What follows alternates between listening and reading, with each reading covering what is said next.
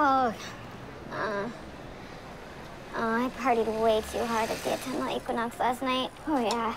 I blacked out, and I went home with an ogre. Oh, I am never drinking sparkle nectar again. You always say that. Yeah, Hey, you're a little bright.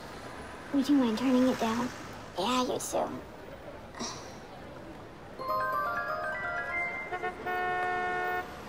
Oh, this is ridiculous. We are magical creatures. We should be making better choices.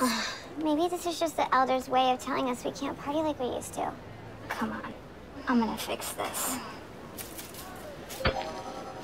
What the f? Oh, sorry. I was trying to conjure hair of the dog. Oh.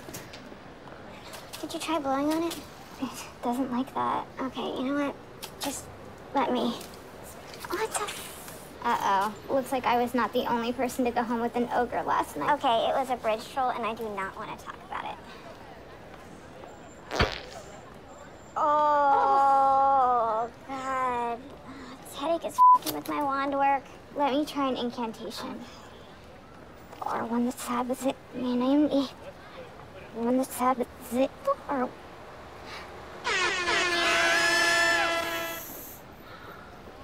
that hydration spell from college? No. Oh, I am going to die. Nothing can save us. All right. All